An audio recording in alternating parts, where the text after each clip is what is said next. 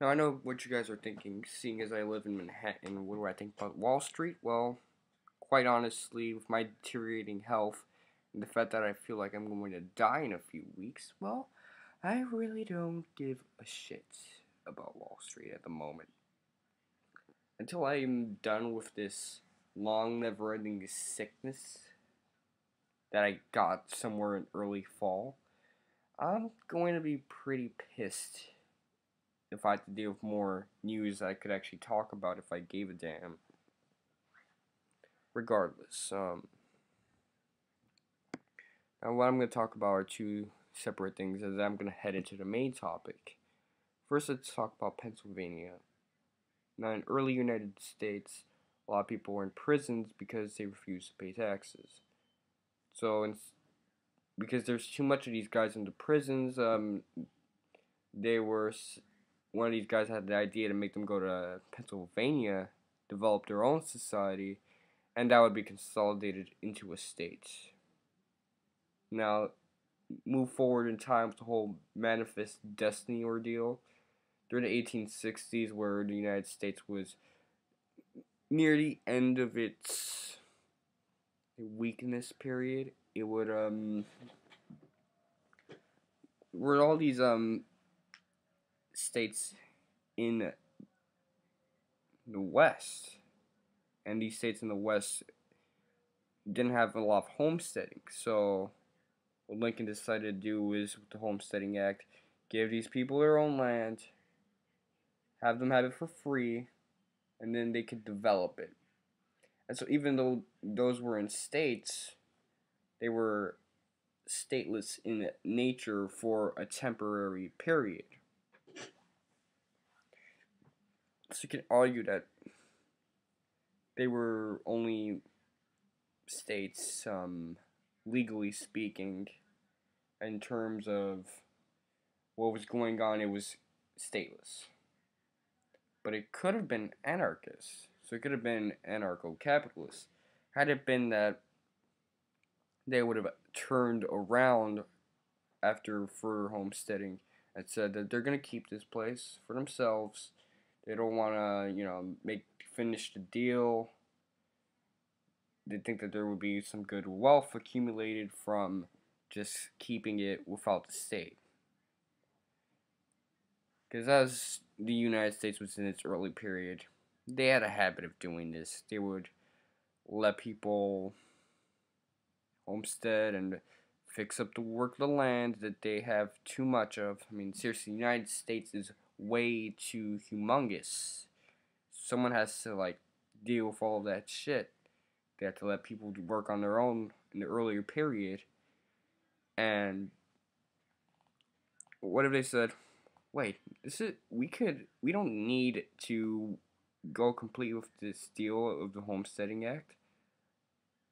And they can actually just turn around and say, well, we're going to keep this. It's not going to consolidate into a state. We're going to be independent. And if you have a problem with us, we can go to war.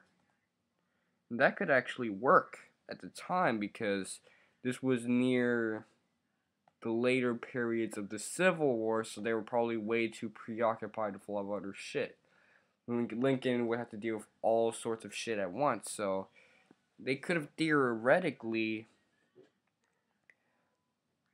kicked the United States ass and had the Western United States in a period of anarcho capitalism for an X amount of time or even forever, since that's a humongous chunk of land. And that would have been cool, in all honesty, if that was the fate of the western portion of the United States. And furthermore, it would have also been very ancillary in the sense that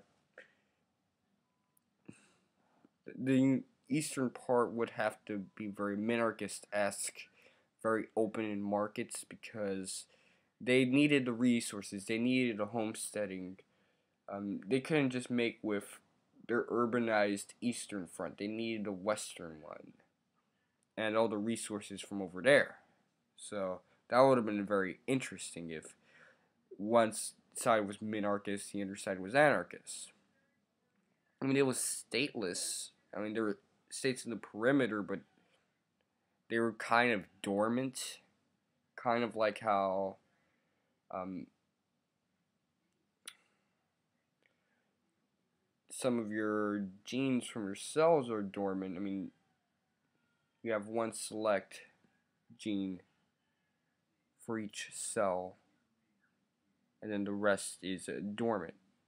That's how you can describe the government of the western portion of the United States. I mean, there was those hierarchies, but the states that existed were basically dormant, and they could have removed the states because it was pretty much statusless, and um, it would have been full-blown anarchism, anarcho-capitalism. Um, and that's what could have happened. And if you think about it, back then it wouldn't be that hard. It's gonna be a bit harder now, considering that all the United States needs to do is make um, anarchist communities extremely miserable. And the United States is very, very developed. Not in all parts. Not in all parts. I mean, with the ter territories and military um, places that the United States has to like for strategical purposes, you can theoretically take over that shit and make it into a anarcho-capitalist community and then keep going from there on. But it could happen. We have stateless capitalism with some anarchist elements. All you needed to do was make it so that it was no longer in the hierarchy that put placed this foreign state above it, the dormant state above it. Alright, so I'm done here. I said everything I needed to say. If you like this, you can suck my dick.